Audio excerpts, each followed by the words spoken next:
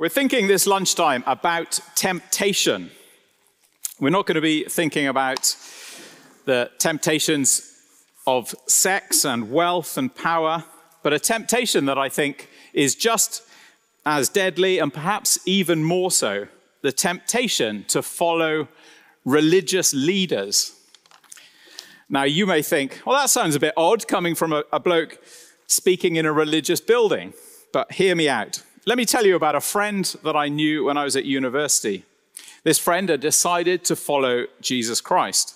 We just heard Julio read about the time the Apostle Peter cried out to Jesus when he was drowning, Lord, save me. And my friend had done the same thing. He'd cried out to Jesus, Lord, save me. I and others who knew him were absolutely thrilled. But then a few weeks later, he left the Christian group that we were part of and he joined another religious group. And he told me why. He said he was impressed with the spirituality of the leaders of that other group. He thought they were devout and serious, and they encouraged him to engage in religious activities that were tangible and profound. Now, at the time, I was a bit worried, but I think I probably thought, oh, well, different strokes for different folks. But now, I don't know exactly where he was, but I know that if he was rejecting Jesus Christ to follow the path that was being trod by these other leaders, it was a fatal move. I've seen numerous people over the years make a similar move, and I know myself, I'm subtly prone to that. And I think you are as well. Tell me afterwards if you disagree, but I think we're all prone to follow other leaders other than Jesus Christ. We're partway through our series in Matthew's Gospel, and Matthew has been teaching us what's involved in being part of Jesus' church. Jesus has been revealing how he's building his church, a movement where people who say, Lord, save me, are able to enjoy the world that we long for a world with no more sin, no more selfishness, no disease, no death, a world where we can enjoy Jesus' care, his provision, his peace, his purpose now and forever. The world that Jesus came to rescue us for, the world that God created us for. And Matthew's been showing us what's involved in people get into Jesus' kingdom. But Matthew's also been showing us what prevents people from joining that kingdom. So please have a look at our key, key, verse for today, the big verse that we're homing in on, verse 14. Here, Jesus is warning his disciples about leaders, alternative leaders who will prevent people from being part of his people. Jesus says, Let them alone. They are blind guides. And if the blind lead the blind, both will fall into a pit. So, the first question there on the sheet, we've got to ask the question, I guess, what makes these blind guides so tempting in the first place? Have a look again at chapter 15, 1 to 2. Then Pharisees and scribes came to Jesus from Jerusalem and said, Why do your disciples break the tradition of the elders? For they do not wash their hands when they eat. Now, you may be thinking, well, that doesn't sound very tempting. A bit overzealous on, on hygiene, perhaps. Or maybe you're thinking, well, I've heard of the Pharisees. I know they're the pantomime villains. I will never be tempted to follow them and follow their kind of leadership. But have another look at these, these couple of verses. Then Pharisees and scribes came to Jesus from Jerusalem and said, Why do your disciples break the tradition of the elders? For they do not wash their hands when they eat. So the Pharisees and the scribes, they are the moral, the spiritual leaders of the nation seen by many at the time as the good guys, the people who are standing up for the Jewish way of life, teaching the people. And this delegation of them is from Jerusalem, the center of spiritual knowledge. They are the respectable establishment of the day. And their challenge to Jesus does carry weight. And by criticizing Jesus for breaking the tradition of the elders, they're appealing to the moral fiber, the spiritual backbone of the nation. You might remember when Rishi Sunak a few months ago was slammed, wasn't he, for leaving late or leaving early from the D Day celebrations. That's the kind of vibe that these guys are going for when they challenge Jesus. They're saying, Look, Jesus, by disrespecting our traditions laid down over the centuries by the elders, you are disrespecting the people who have made this nation what it is. It's like if there's a, a new manager of the Brazilian football team, and people are criticizing that manager for parking the bus, launch, launching the ball long, playing the long ball game. And somebody comes along and says, or lots of people would say, this new brand of football, it desecrates the long standing traditions, the heritage of this team. And let's not be too quick to mock their concern for hand washing either. God clearly gave commands about washing and cleanliness. It was a visual reminder of the privilege of being set apart as God's holy, special people. The Pharisees, the scribes, they've come up with extra commands to Scripture. They've come up with a whole complex procedure for washing properly before eating, which means on the surface, they look really serious. They look really devout. So, can you see the, the temptation that this is presenting to those people listening in?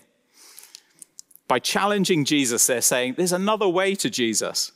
It's a seductive mix, an alluring mix of Uh, you get approval from the elite, you get the chance to engage in some kind of virtue signaling, self justifying external activity that will be impressive. Imagine you were Jesus' disciples listening in. Jesus later warns his disciples to avoid the teaching of the Pharisees. So maybe even they might be wondering do these guys have a point? We've just been worshiping Jesus out in the wilderness, worshiping him as the Son of God. But these guys, with their worship, does look pretty impressive when you stop and think about it. They've got the temple, they've got this whole system of, of stuff that they do. And it wouldn't be a bad thing if they approved of us. Jesus has taught us all we need to do is cry out, Lord, save me. But that's quite, that's quite humbling to admit that we need rescue. Maybe that's a bit too easy. Doing a bit of hand washing, making ourselves look serious and devout, makes us feel good, might make us feel good about ourselves. Now, maybe you're thinking, okay, I get, get the point a little bit, but may I am not religious. But we need to see this is not just a niche issue for these guys in the first century. If you think about the, the world, millions upon millions of people are following religions that offer approval, that, that you can be part of this tradition. They offer that, those activities that give you that self righteous glow of you're doing something that makes you feel a bit better about yourself complete the pilgrimage, you can be truly part of our community. Knock on, a, on some doors, you can really be sure that you're, you're on the in crowd. And it's not just about other religions, we find the same idea within, within Christianity. What, you don't fast during Lent? What, you're not part of the all night prayer group? If you're keen and you want our approval, you really should be at the lunchtime talk every single week. And it's not just even the leaders of the formal religions who offer this mix of elite approval and virtue signaling. We're all familiar with the implicit, the explicit encouragements from the secular religions to follow the latest cause that, that signifies we are a sound person, we are decent, we are upstanding. You should post on your social media your support for this latest on trend cause. Ally yourself with the right the right movement, wear the lanyard, fly the flag, be part of this charitable work, be part of this city, city club. You'll get the approval of those important people that you look up to, the influential people in your circle. But Matthew's point is whatever path you are tempted to follow other than Jesus Christ, let them alone, avoid them. They are blind guides. So let's look at our second question. How does Jesus guard us against being taken in? First, he exposes the hypocrisy of these leaders. So have a look at Jesus' answer to the Pharisees and the scribes in, verses, in verse 3. Jesus answered the Pharisees and the scribes, and he said, And why do you break the commandment of God for the sake of your tradition? Jesus counterattacks. He points to an example of the Pharisees and the scribes where they were actually encouraging people to break two of God's good commands about how you should look after your parents.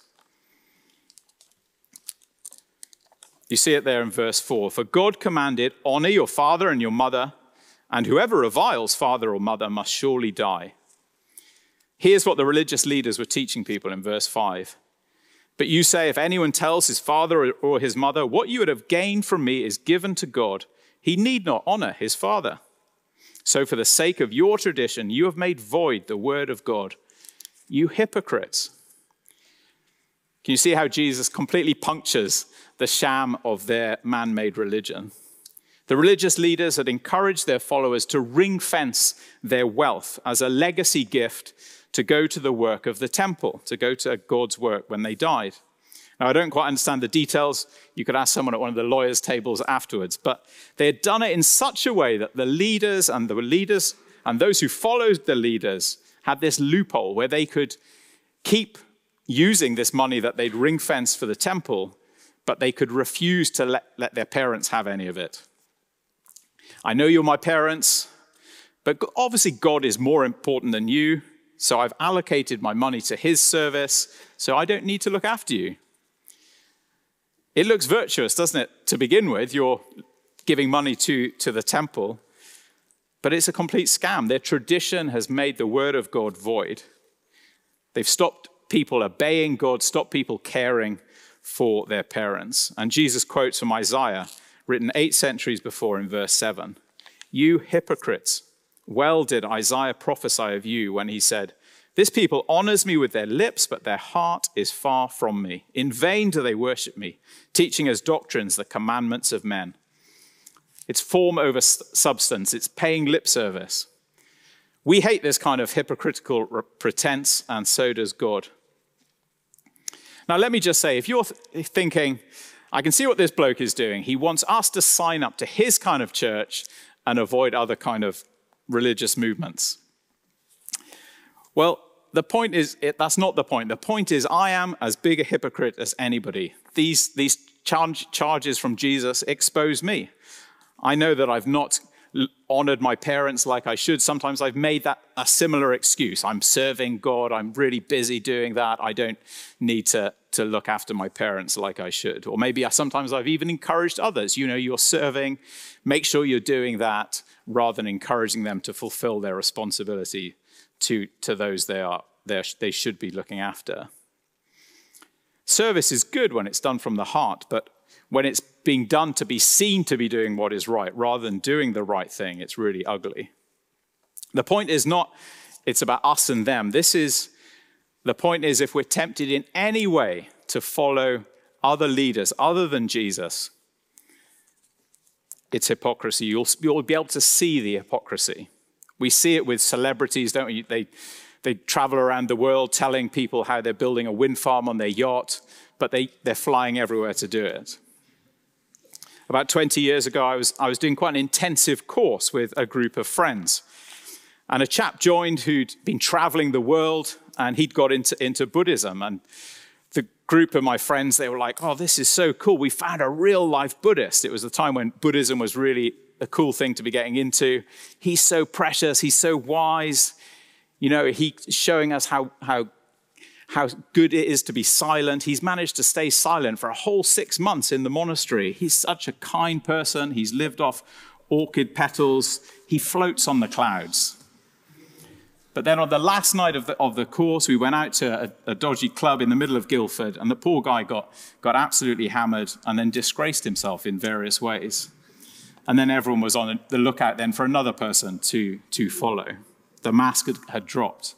Again, I'm absolutely no better than that. The point is not I'm better than anyone else, we're better than anyone else. But the point is, if we're trying to follow any kind of spirituality other than Jesus, whether it's formal religion, secular religion, it's going to let us down. The point is, only Jesus is totally consistent. And you see that in this passage, don't you? We've seen his compassion over recent weeks. Now we see his clarity, his courage, speaking up for what is right. The second reason we should not be taken in by these blind guides is these leaders completely misdiagnose the human condition. Have a look at verses 10 to 11. And he called the people to him and said to them, Hear and understand. It is not what goes into the mouth that defile, defiles a person, but what comes out of the mouth. This defiles a person. The Pharisees, the scribes, are teaching that you can be defiled by eating food with your hands when they've not been washed properly. But Jesus says that's not what defiles you. It's what comes out of your mouth that's what, that's what matters. Jesus made it clear that what we say, that reveals what's going on in our heart. And that's what, what, how God will judge us. And we all fall down again when we think about that. We've all used our mouths to lie. We've all slandered people. We've all done it. You and I of not telling the truth about Jesus. Our, our mouths reveal a massive internal problem. We'll look more at that next week when William is back with the next passage. But can you see the point? The system the Pharisees had built was built on a lie, a lie that says it's possible to be good, to be righteous through external activity. It's a lie that's still going strong, both in the religious and secular world. Even this week on, on Sunday morning, I met some people who, who were thinking, if we, if we can have the Lord's Supper once a week, that's what it'll take to keep us, keep us right with God. People say, if I get baptized in this way, that's how I'll be right. Or in the secular world, if I run this marathon for this charity, if I help the com- company meet its ESG targets. Can you see how attractive it is? Because we feel good about ourselves, we've done something tangible, we think we're doing well. And then our priest or our vicar or our imam or our mum taps us on the back and says, Well done, Wes, you're doing really well. But it doesn't matter how clean our hands are, how much money we've raised through, on Just Giving, how many badges and awards we have in our email signature. It doesn't make us right on the inside. It doesn't make us right with a holy God. And so it's vital that we're crystal clear where this false leadership takes us. Have a look again at verse 12. Then the disciples came and said to Jesus, Do you know that the Pharisees were offended when they heard this saying? Throughout the section, people being offended means they're, they're unwilling to accept Jesus as Lord. They're unwilling to, to believe in him. Jesus answered, verse 13 Every plant that my heavenly Father has not planted will be rooted up. Let them alone, they are blind guides, and if the blind lead the blind, both will fall into a pit. Now, if I'm blind and I want to navigate the most dangerous mountain path, or I want to walk through a minefield in a war zone, or I want to navigate the pavements of London scattered with electric bikes, the last thing I need is someone to, offering to lead me who's wearing a blindfold. But what is that blindfold? The blindfold comes from not listening to Jesus' diagnosis of the human condition. Jesus tells us that we cannot save ourselves, but if we think that we can, or we listen to those who think that we can, we're being led by blind guides. And if we follow that, we follow what the schools tell us, the government tells us, what the church sometimes tells us, that we are decent people, we're good on the inside, we just need a little bit of help here and there. Well, we're deluded. We don't really think we need the rescue that Jesus came into the world to give. And we're being led into God's judgment unprotected. Last week, William took us to those three words that Peter said to Jesus when he was drowning Lord, save me. That's the way into Jesus' kingdom. To recognize that Jesus is our Lord, recognize He's the one who rescues us, recognize that we need that personally. But there will be people who will come and say, Yeah, you don't really need that. Just follow, follow us. You can have a little bit of Jesus, but you don't need to rely on Him completely. Look, come with us. We've got the buildings, we've got the cathedrals. The great and the good are involved in what we're doing. Look at our traditions. They go all the way right back to the Great Awakening, back to the Reformation, back to the church, the Desert Fathers. We've got the authenticity. Or they'll say the CEO's on board, the D&I department are on board. They'll say to us, you know, just wash your hands, light a few candles, do this kind of social action. What are you doing just, just believing in Jesus, just telling people to follow, follow him and trust in him? Look at all the impressive stuff that we're doing. That is attractive. I don't know about you, that I find that attractive. I want to fit in. I want to be recognized for doing something. I want, I'm conscious of my sin. I want to do something that helps me feel like I'm, I'm, I'm getting on top of it. But we mustn't be duped. There's only one leader worth following. There's only one leader who can wash us clean. There's only one leader whose approval we need. We need to keep obeying Jesus Christ. So let's remember those three words from last week Lord, save me. But there will be these alternatives, these blind guides. So let's remember the three words Jesus gives us this week let them alone. Let them alone. Let's pray together. Our Heavenly Father, thank you for warning us about the blind guides. Please help us to see through the hypocrisy. Help us to, to see the reality, the seriousness of our sin. Help us not to be taken in. Help us to see that Jesus is Lord, only He can rescue us, and that we need His rescue. Please keep us praying, Lord, save me. In Jesus' name, Amen.